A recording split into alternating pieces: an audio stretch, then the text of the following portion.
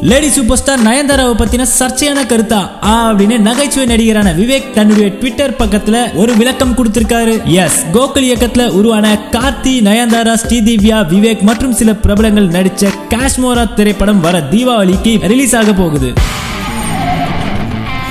இந்த நிலையில சமீபத்துல இந்த படத்துக்கான பிரஸ் மீட் நடந்து முடிஞ்சது. அதுல பேசின நடிகர் விவேக் சென்டிமெண்ட் சொல்லி பட விழாவுக்கு வரத தடுக்கிற நடிகைகள் அதே காரணத்துக்காக படத்துடைய சம்பளத்தையும் வாங்காம இருந்தா நல்லா இருக்கும் அப்படின்னு சொல்லிட்டாரு. நடிகை நயன்தாராவோ பொதுவாவே பட விழாவில் கலந்துக்கிறது கிடையாது. இது நம்ம எல்லாருக்கும் தெரிஞ்ச ஒரு விஷயம் தான் இந்த பேச்சால நயன்தாராவுடைய ரசிகர்கள் எல்லாரும் கடும் கோவத்துக்கு ஆளாகி கண்டனம் தெரிவிச்சிட்டு வராங்க. இப்போ விவேக் தன்னோட ட்விட்டர் பக்கத்துல இது குறித்த விளக்கம் தெரிவிச்சிருக்காரு. அப்படி என்ன சொன்னார்னு பார்த்தா நான் நடிகை நயன்தாராவை குறிப்பிட்டு சொல்லல.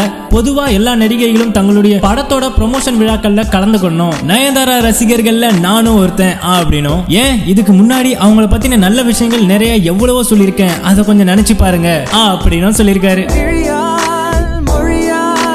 இத பத்தி நயன்தாரா தரப்புல இருந்து ஏதாவது தகவல் வருமா இல்லையான்றதை நாமளும் பொறுத்து இருந்து பார்க்கலாம்